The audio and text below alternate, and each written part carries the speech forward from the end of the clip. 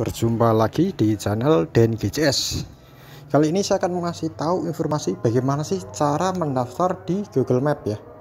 Jadi untuk sahabatku yang mau mendaftarkan lokasi sahabat ataupun rumah sahabat di Google Map ataupun sahabat mempunyai usaha warung dan lain-lain, mungkin tetangganya juga bisa dibantu. Cara mendaftar mendaftarkannya di Google Map itu sangat mudah ya.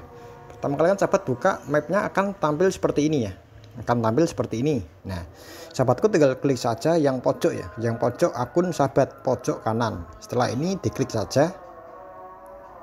Setelah muncul seperti ini sahabatku klik saja. Yang namanya oh ini keliru sahabat. Sahabat buka yang bawah saja ya. Yang bawah sahabatku klik yang namanya kontribusi ya. Kontribusi Nah, setelah seperti ini, sahabatku tinggal klik saja yang namanya tambahkan tempat. Setelah seperti ini, sahabatku tinggal kasih nama saja. Namanya apa? Bisa nama usaha, misalkan nama rumah ya, nama nama sahabat siapa ataupun nama usaha sahabat apa? Misalkan warung. Warung warung mie ayam. Terus pilih kategori diklik saja mana? Makanan hotel tinggal diklik saja. Karena ini saya contohkan mayam jadi makanan dan minuman. Kita bisa klik saja.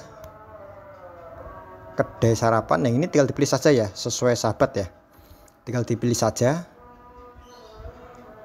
Saya akan klik ini. Terus tambahkan alamat diklik.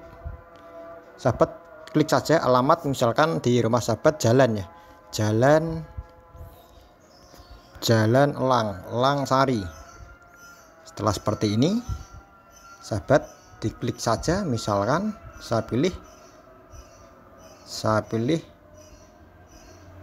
ini tadi makanan kedai sarapan terus alamat Langsari ya sahabat. Langsari ini contoh ya. Terus sahabat berlokasi di dalam tempat lain. Nah ini bisa ada tambahan sahabat misalkan rumahnya dekat sama apa. Tapi ini tidak usah diisi tidak apa-apa kita kembali lagi. Terus untuk update nya lokasi kita arahkan saja. Rumahnya dekat mana dekat sama apa sahabat tinggal arahkan saja sesuai dekat lokasi rumah sahabat ya. Ya. Tinggal diarahkan saja sesuai titik rumah sahabat ataupun bisnis sahabat. Setelah seperti ini kembali lagi. Setelah diklik misalkan saya akan mengeklik ini. Ini diklik ini oke. Okay. saat klik ini oke. Okay. jadi akan saya klik misalkan oke. Okay. setelah seperti ini sahabatku tinggal kirim saja ya. Tambahkan tempat ya. Tinggal diklik saja ini. Ini malah hilang misalkan mie ayam. Terus makanan restoran kedai ini contoh sahabat. Tinggal sahabat klik saja yang di atas itu ya kanan pojok ini tambahkan tempat tinggal dikirim saja nanti. Diklik ya Nah ini nanti ini akan menghubungi kita via email ya. Jadi untuk sahabatku pakai email yang asli ya. Pakai email yang asli untuk mendaftarkan nama bisnis ataupun tempat di Google Map. Jadi caranya seperti itu untuk sahabatku. Semoga membantu. Cukup sekian dan terima kasih.